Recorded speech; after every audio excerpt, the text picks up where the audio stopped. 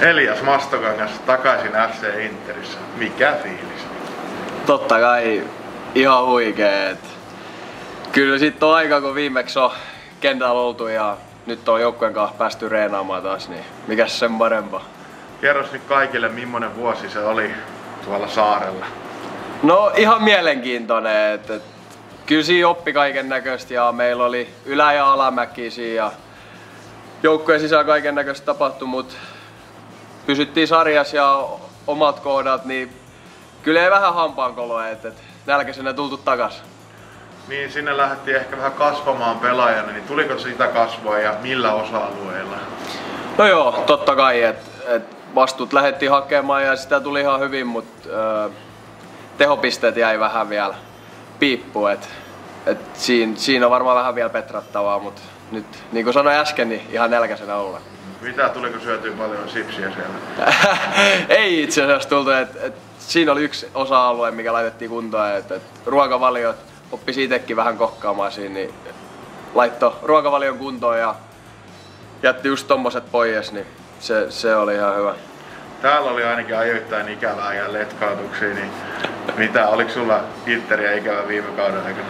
No totta kai, että et, kotihan tää aina ollut, että et aina tuli muisteltua, mutta kyllä sielläkin ihan omat hyvät puolensa oli ja pystyisi nauttimaan sielläkin, mutta täällä taas ollaan ja pääsee, pääsee takas jätken kanssa. Viikonpäivä treenailtu nyt tässä uuden kauden alkajaisiksi, niin mikä on ollut pöhinä tuolla treenikentällä? No onhan se oli ihan uskomaton, että, että siinä on vähän nuorempiakin pelaajia, niin ollaan menty ihan täysin ja ei olla paljon säästelty. Että, että ehkä voisi vähän vielä enemmän miettiä, niin kuin ton, toi coach on sanonut, että, että vähän enemmän miettimistä ja niin, mutta että kyllä, kyllä ainakin ihan terävänä kaikki on ollut toistaiseksi. Homma alkoi fyysisillä testeillä, niin oliko Mastokangas tikkarissa? No olin mä ihan hyvä tikkarissa. Et, et, kyllä mä koko joulukuun tein ihan täysin, täysin duunia siihen, että et nyt tää kausi olisi se kausi. Niin kyllä mä voin sanoa, että tällä hetkellä ollaan hyvässä kunnossa. Tuliko vietyä jossain testissä kärkipaikka? Ää, no kun mä en tiedä, kun niitä tuloksia ei olla vielä annettu, mutta kyllä mä sanoin, että ihan hyvin sijoilla oltiin kyllä. Et, et, ainakin omasta puolesta. Ihan voima ja kestävyyksissä. Äijä näytti aika hurjalta tuolla treenikentällä äsken. Pakkasta on en tiedä kuinka paljon, mutta kaksi miestä siellä sortseilla painoi. Mastokangas ja Kantala. Tuliko edes vilu? Ei tullut, että et, jotenkin vaan tottunut siihen, että aina vedetään sortseilla ja kaikki just tommoset ylimääräiset vaatekappaleet häiritsee. Et se vaan jotenkin tulee, että ei se niin kylmä ole, mitä sitä luulisi. Vuosi on vasta alkanut, mutta onko asettanut itsellesi jotain tavoitteita tähän sesonkiin? No joo, totta kai. Mä veikkaan niin kuin jokainen pelaaja tekee, mutta kyllä mä sanon, että nyt on tavoitteet korkea ja niin kuin mä sanon, mä nälkäisenä, että, että nyt se on all kaikki peli.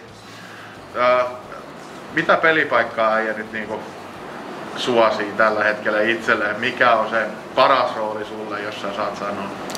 Ää, no just semmonen pocket-pelaaja, että, että äh, Saareen mä pääsin pelaamaan laituri ja poketti, että totta kai coachit vaihtus, niin siinä oli vähän eri roolit, mutta mieluiten tulla just semmonen laituri, ketä ajaa sisään ja sitten löytää sieltä niitä pieniä tiloja ja sitten sieltä ratkaisee peliin, mutta suunnilleen joku ton tapainen. Onko päävalmentaja Mikelin kanssa käyty mitään keskustelua vielä siitä pelillisestä roolista? Ää, Ei olla vielä taktisia asioita käyty, että niin kuin se sanoisi, että tämä viikko haettiin vähän sitä tatsia hyvää mieltä ja pientä tuntumaa, niin mä veikkaan, että ens, ensi viikolla tulee eka matsi ja kaikki, niin ruvetaan vähän taktisikin asioita käymään läpi. No niin, ei muuta kuin hei. Tsemppiä siihen ensi viikon matsiin sitten. Jos pelataan Piffeniä vastaan, niin pistäkää parasta. Hei, Näin teemme. Kiitos, kiitos.